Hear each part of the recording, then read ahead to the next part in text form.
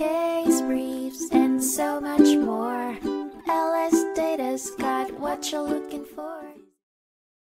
In a 2008 case heard by the United States Court of Appeals for the Seventh Circuit, Michael Sanders, Taofiq Afonja, and Folashade Moore were involved in smuggling 3.6 kilograms of heroin into the U.S. from Nigeria.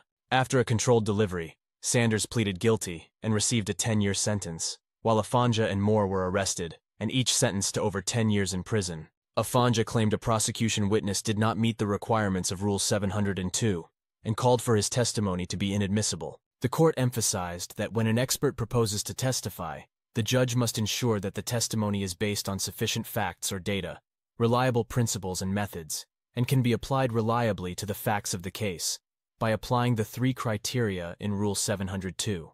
Although the court held Coleman's testimony admissible, it warned district judges, prosecutors, and defense counsel to ensure that expert witnesses met Rule 702 standards.